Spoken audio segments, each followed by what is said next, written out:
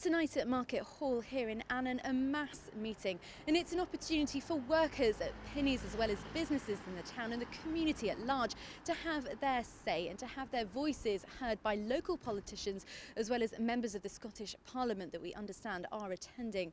Now, it's been a day of developments. Earlier today, officials from the council, from government, and from Scottish Enterprise met with senior management at Young's.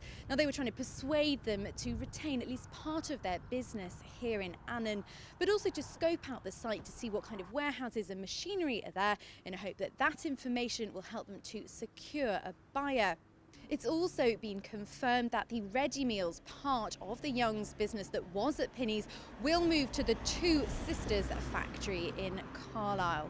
Well, joining me now is Katrina Baxter, who has organised the meeting here and is part of the Save Pinneys of Annan campaign. Katrina, why was there a need and a demand for this meeting?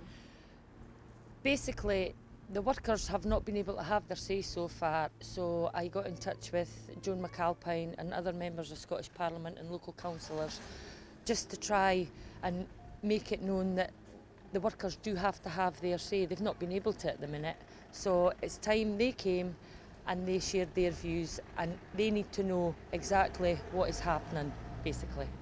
And what, what are you hoping to achieve here? We just want the, the Scottish Parliament to try and secure as many jobs as possible.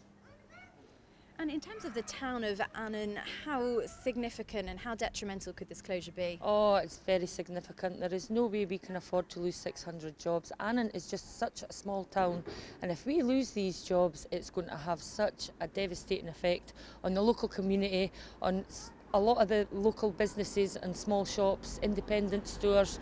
We just can't afford to lose these amount of jobs. Thank you for joining me, Katrina. So, a day of developments here in Annan, but it remains a worrying time for the people of the town as there's still no guarantees over the future of the Pinneys factory.